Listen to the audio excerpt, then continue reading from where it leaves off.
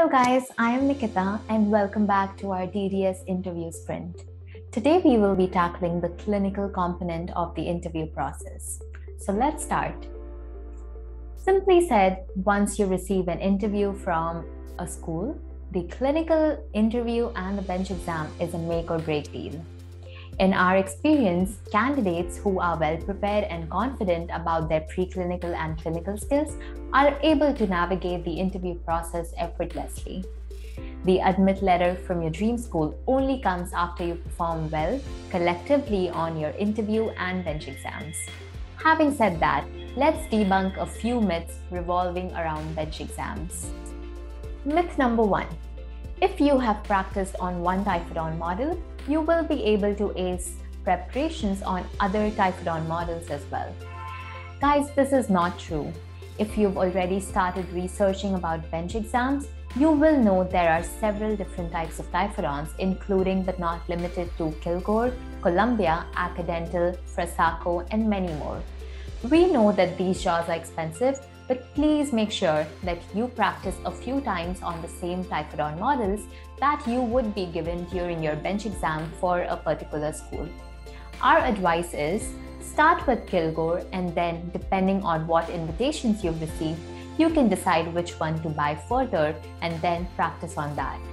I am only stressing out on this because we know that the anatomy, including the grooves and contacts, as well as the texture while cutting these teeth, differs considerably between jaws. Now let's go to myth number two. If you are not using loupes, you will not clear your bench exam or you will be at a disadvantage. Guys, this is again not true. Do what you're comfortable with at the end. While it is true that loupes improve your visibility and you are more likely to see how your prep looks, you can also do an excellent preparation without loupes. If you've been using loupes during your practice for a few months now, go for it. However, don't buy loupes two weeks before your bench exam and expect that you can get used to them and perform well on your bench. It is very typical for everyone to take some time to get used to loupes. The other factor is the expense. Good company loupes are very expensive and you might not want to spend on it while you are already spending so much on your applications and interviews. It is all right and a normal perspective among candidates. In that case, you can also go for slightly cheaper loupes which are available on Amazon, eBay, etc. So to conclude, loupes are not a requirement. You can use them, you can do without them. Coming to myth number three enroll in a bench preparation course only after you get an invite. Guys, I will answer this from my own personal experience. Some schools hardly give you time to prepare for your bench. It could vary between a week to a month. So start early. Professional bench courses are a valuable investment. Don't wait till the last moment. Take a course or start practicing on your own if that is what you prefer as soon as you are done with your applications. The process is so competitive that I know candidates who practiced around 600 teeth, and you will only be able to get that much practice if you start early. The other advantage of enrolling in these courses is that you make great connections. You will be meeting candidates in the same process as you, but they will have their own unique stories, all of which will make the entire experience very meaningful.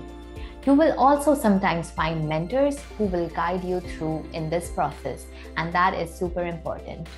Now, let's talk about in person bench courses versus online courses. So, in person bench courses stands out more because you know that you are getting supervised hands on experience.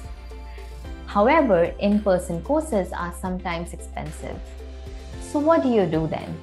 You can enroll in an online course you are still going to learn a lot and have a professional critique of your preparations. It is always best to have someone who understands the US dentistry and how the US criteria works in evaluating your preps. So, we at Caapid Simplified have an online bench evaluation service where you can send in your prep pictures to us and professionals assess and give you feedback. Check it out if this is something you are looking for right now. We have linked it in the description below.